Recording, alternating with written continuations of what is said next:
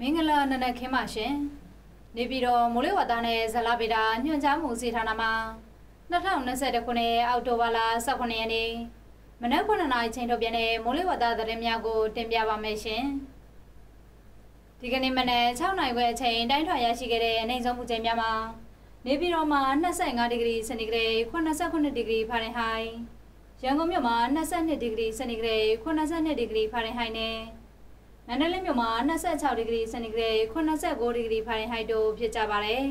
။ဒီကနေ့မနက်6နာရီခွဲအချိန်မိုးလေဝသကြိုတူမှာဖမ်းယူရရှိတဲ့ပုံအရကပလီပင်လယ်ပြင်နဲ့ဘင်္ဂလားပင်လယ်အော်တို့မှာတိမ်ထူထပ်နေပါတယ်။မြန်မာနိုင်ငံပေါ်မှာကတော့တပီလုံးလုံးလုံးမှာတိမ်အသင့်တမှာတိမ်ထူထပ်နေတာကိုတွေ့ရပါတယ်။ဘင်္ဂလားပင်လယ်အော်အခြေအနေမှာဘင်္ဂလားပင်လယ်အော်မြောက်ပိုင်းနဲ့ရှေ့လယ်ပိုင်းတို့မှာတိမ်ထူထပ်နေပြီး ကပလီပင်လယ်ပြင်နဲ့ကျမ်းမင်္ဂလာပင်လယ်တို့မှာမုတ်တုံလေးအားအသင်တင်ရှိနေပါတယ်။မြမပင်လယ်ပြင်မှာမြမကံရန်တချောင်းနဲ့ကန်လွန်ပင်လယ်ပြင်တို့မှာတခါတရံမိုးသက်လေပြင်းများကြာရောက်ပြီးလှိုင်းတဲ့တမလှိုင်းကြီးနိုင်ပါတယ်။မိုးသက်လေပြင်းကျစဉ်ရေပြင်းမြေပြင်းလေးဟာတနအယုံမိုင်30မှ35မိုင်ထိတိုက်ခတ်နိုင်ပါတယ်။လှိုင်းမြမမြမကံရန်တချောင်းနဲ့ကန်လွန်ပင်လယ်ပြင်တို့မှာ6ပေမှ9ပေခန့်ရှိနိုင်ပါတယ်။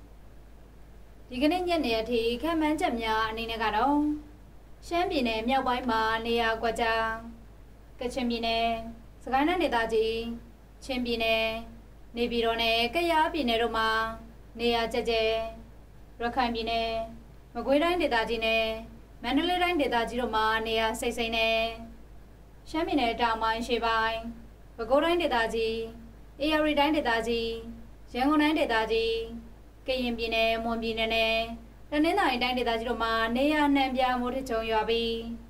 မကွေးတိုင်းဒေသကြီးပဲခူးတိုင်းဒေသကြီးရန်ကုန်တိုင်းဒေသကြီးအေရရီတိုင်းဒေသကြီး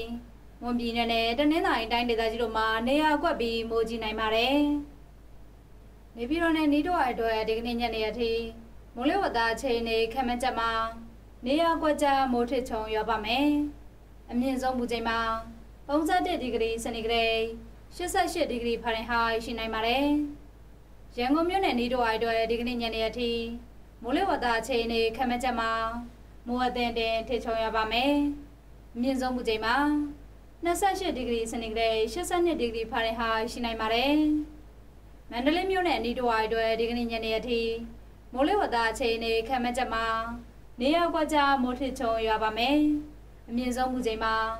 39ဒီဂရီစင်တီဂရိတ်69ဒီဂရီဖာရင်ဟိုက်ရှိနိုင်ပါတယ်။နောက်နေ့အတွက်ခန့်မှန်းချက်များအနေနဲ့ကတော့အနောက်တောင်မုတ်တုံလေးဟာမြန်မာနိုင်ငံတောင်ပိုင်းဒေသများမှာဆုတ်ခွာနိုင်ပါတယ်။အခုတင်ပြခဲ့တာကတော့ဒီကနေ့မနက်9နာရီချိန်ထုတ်ပြန်တဲ့မိုးလေဝသသတင်းများပဲဖြစ်ပါတယ်။ကိုယ်စိတ်နှပြကျမ်းမာချမ်းသာကြပါစေရှင်။